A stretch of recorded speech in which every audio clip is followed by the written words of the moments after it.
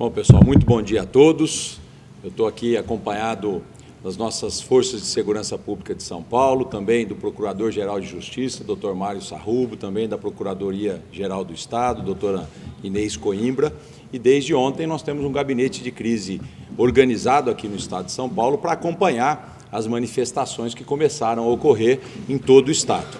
Nós procuramos dialogar e negociar com esses manifestantes para que as vias públicas fossem desobstruídas desde ontem e hoje, agora pela manhã, em virtude da decisão do Supremo Tribunal Federal, as negociações se encerram e a partir de agora nós vamos aplicar aquilo que determina a decisão judicial, iniciando com multas de 100 mil reais por hora para cada veículo que esteja contribuindo com essa obstrução, a partir também daí fichando e eventualmente prendendo aqueles manifestantes que, eh, porventura, resistirem a desobstruir as vias e, se necessário, o emprego de uso de força. Desde ontem, portanto, a Polícia de São Paulo está mobilizada para procurar evitar que essas manifestações interrompessem o direito de ir e vir da sociedade paulista. Nós conseguimos já liberar mais de 40 pontos que estavam obstruídos ontem e, a partir de agora, com a decisão judicial, aplicando um protocolo da segurança pública, informando a esses manifestantes que a multa de 100 mil reais por hora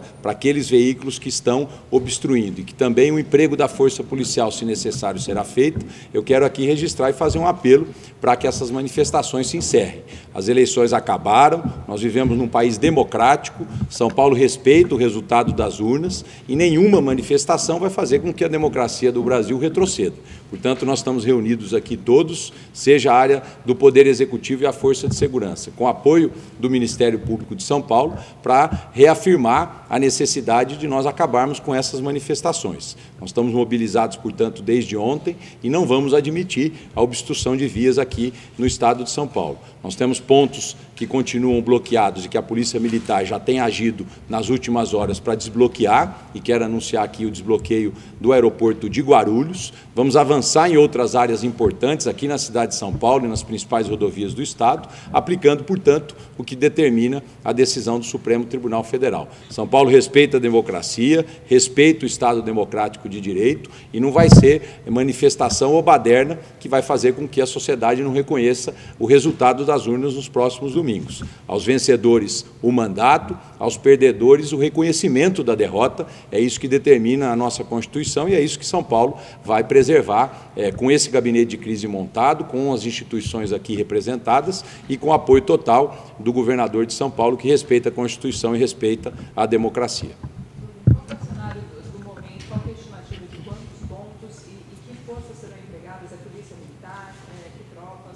Olha, nós temos cerca de 90 pontos nesse momento de manifestação, mais de 40 pontos já foram desobstruídos e a polícia segue um protocolo. Nós começamos com o diálogo, pedindo para que os manifestantes se retirem. Em paralelo a isso, os veículos serão multados, o valor da multa é de 100 mil reais por hora, portanto, quem for multado e reincidir nessa multa provavelmente vai perder o seu bem.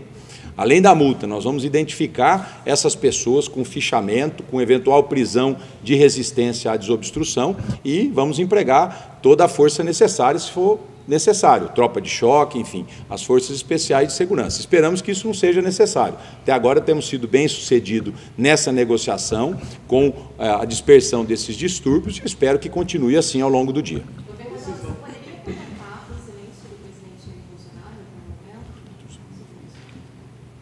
Olha, nós já reconhecemos a vitória do presidente Lula, né? e todos nós aguardamos que a democracia, a boa política no Brasil, é, faz com que aqueles que ganhem as eleições sejam cumprimentados, aqueles que percam reconheçam essa sua derrota. E é isso que todos nós esperamos é, do presidente Bolsonaro. Enfim, existe um resultado soberano das urnas, se tiver questionamentos que se faça dentro do Estado Democrático de Direito, mas nós temos um presidente eleito que é o presidente Lula. Eu vou pedir para o Procurador-Geral de Justiça também aqui dar uma palavra em nome do Ministério Público, que desde ontem ele está acompanhando para e passo as ações aqui da polícia, que envolve estratégia, que envolve é, é, uma série de ações para que a gente evite é, é, um distúrbio ainda maior no estado de São Paulo. Bom dia, bom dia a todas, bom dia a todos. Desde o meio da tarde de ontem, nós entramos em contato com a Secretaria de Segurança Pública, e estamos sendo informados uh, a cada momento eh, das ações tomadas pelas forças de segurança do Estado para que se mantenham as vias públicas absolutamente desobstru desobstruídas. E estamos tomando, dentro do Ministério Público, no âmbito do, da nossa atuação, criamos um núcleo de ação integrada envolvendo os promotores de justiça uh, da Promotoria de Habitação e Urbanismo, que podem, se o caso, tomar medidas cautelares no sentido de forçar desobstruções e, e, e também cobrar multas, enfim, trazer a volta da normalidade para a população do Estado de São Paulo, e também o GAECO está uh, investigando, porque, na visão do Ministério Público, trata-se de uma organização criminosa que está atentando contra o Estado democrático de direito no Brasil. Trata-se de uma manifestação de desrespeito ao resultado das urnas, de desrespeito ao resultado, à vontade do povo brasileiro de maneira que o Ministério Público não se curvará quem quer que seja e defenderemos a democracia e trabalharemos pela paz da população do Estado de São Paulo e do Brasil de forma absolutamente intransigente.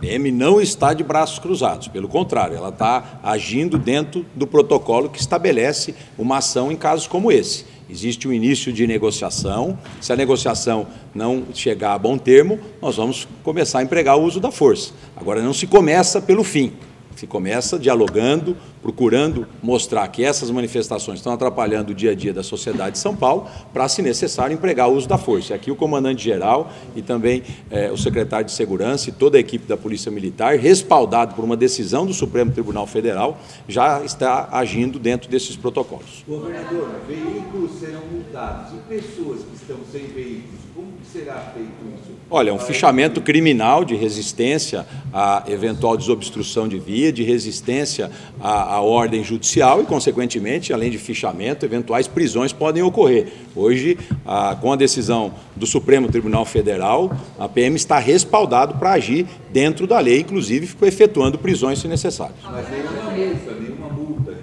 Aí depois nós temos todas as ações que a PGE pode entrar, do ponto de vista é, civil, contra esse cidadão que concorreu para uma organização criminosa ou concorreu é, para um distúrbio civil. Governador, a polícia pode atuar em todas as rodovias, mesmo as federais, ou só PRA tem ingerência A decisão agora, de poucos minutos atrás, do ministro Alexandre, permite também que a polícia possa agir em rodovias federais de São Paulo. Nós faremos isso cooperando com a Polícia Rodoviária Federal, mas agindo também individualmente. Lembrando que o aeroporto de Guarulhos, o acesso ali da Aero Schmidt com a Dutra é área federal e a Polícia Militar está lá agindo respaldado pela legislação. Eu queria só deixar claro se nenhuma dessas pessoas ainda foi multada, se não aconteceu isso ainda em São Paulo, se o senhor teve alguma informação em relação a desabastecimento de postos de gasolina. O senhor concreto disse que, pelo menos por agora, esse risco não existe em São Paulo, mas que se o protesto continuar hoje, amanhã alguns postos podem começar a ser desabastecidos. Olha, e não só isso, a polícia está hoje próximo das refinarias fazendo a segurança, mas nós temos cargas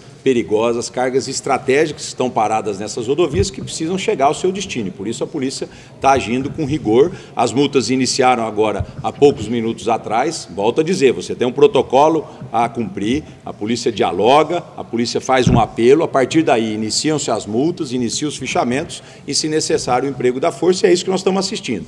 Então vamos celebrar os bons resultados. Hélio Schmidt já liberado, aeroporto de Guarulhos sem problemas. Estamos indo para a Marginal, toda a equipe de grupamento aéreo do estado inteiro está mobilizado e a polícia vai, dentro de uma estratégia policial, fazendo a desobstrução dessas vias. Esses 90 pontos, quais são os mais críticos que provocam até a obstrução total da via? Olha, as principais rodovias do estado, Anhanguera, Bandeirantes, Castelo Branco, Raposo Tavares e Marginal Pinheiros. Mas, enfim, a polícia tem esses pontos todos mapeados, com a presença de policiais militares. É óbvio que existe uma estratégia de reforço de segurança naqueles locais onde, porventura, se identifica que haverá confronto.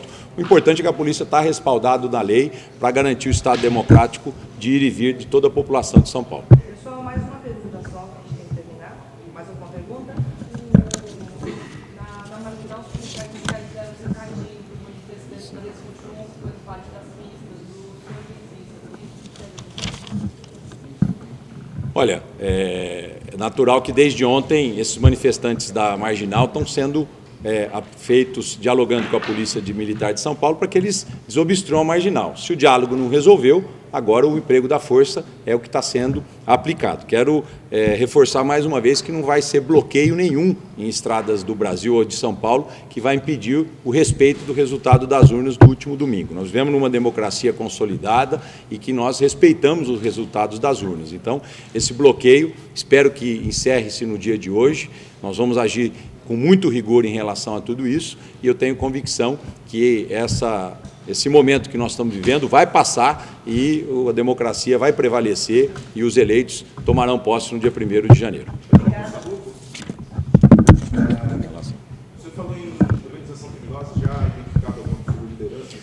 Não, estamos trabalhando junto com a Secretaria de Segurança Pública, ah, já há alguns indícios, já há alguns nomes que nós conhecemos, são velhos conhecidos, e junto com as forças policiais do Estado de São Paulo, nós levaremos essas pessoas a responderem criminalmente e civilmente. É bom lembrar que a Promotoria de Habitação e Urbanismo poderá e deverá acionar eventuais organizações ou mesmo pessoas físicas que porventura tenham colaborado ou concorrido para esse tipo de bloqueio. É, como disse o governador, e nós concordamos integralmente com isso, não será um bloqueio é, feito por meia dúzia de arruaceiros que vai é, impedir a consolidação da democracia e da vontade da população no Estado de São Paulo e no povo brasileiro no Brasil inteiro. Mas são crimes investigados? São vários crimes. No âmbito da na órbita estadual, nós temos atentado contra a segurança de transporte, dentre outros crimes estaduais, e há, evidentemente, crime contra a segurança nacional.